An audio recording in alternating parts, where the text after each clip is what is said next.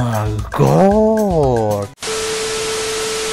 សួស្តីខ្ញុំម៉ាត់ឈ្មោះរិទ្ធអរគុណសម្រាប់ការមើលវីដេអូមួយនេះហើយនេះគឺជាការត្រឡប់មកវិញលើកទី1របស់ខ្ញុំដែលខ្ញុំនឹងធ្វើវីដេអូប្លែកៗនៅក្នុងវីដេអូរបស់ខ្ញុំហើយវីដេអូនេះក៏សូមផ្ញើជូនទៅដល់មិត្តភ័ក្តិដែលបានបែកគ្នាជាច្រើនឆ្នាំហើយក៏ទើបតែបែកគ្នាមួយរយៈពេលខ្លីនេះដែរដែលពួកយើងបាន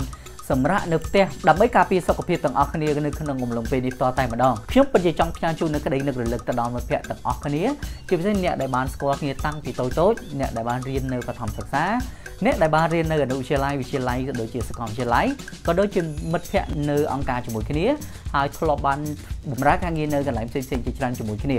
និងមិត្តភ័ក្តិ business ផងដែរហើយក៏ដូចជាមិត្តភ័ក្តិផ្សេងៗទៀតដែលធ្លាប់បានស្គាល់គ្នាហើយបើមិត្តភ័ក្តិទាំងអស់គ្នាដែលបានបែកគ្នាតាំងពីយូរមកហើយបានឃើញនៅក្នុងវីដេអូនេះក៏សូមជួយ comment ទាំងអស់គ្នានៅក្នុងវីដេអូនេះផងដែរ ត្រឹមត្រូវណាស់មិត្តភ័ក្តិជាច្រើនបានបែកគ្នាជាយូរមកហើយហើយក៏ពួកយើងមិនដែលបានស្គាល់ Facebook គ្នាឬក៏មានវិធីទំនាក់ទំនងក៏ដូចជា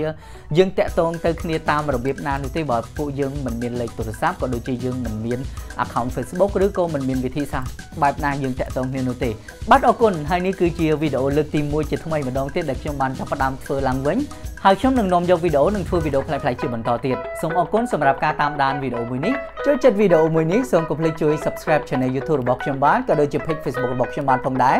ជួបគ្នានៅក្នុងវីដេអូជាបន្តសូមអរគុណ Bye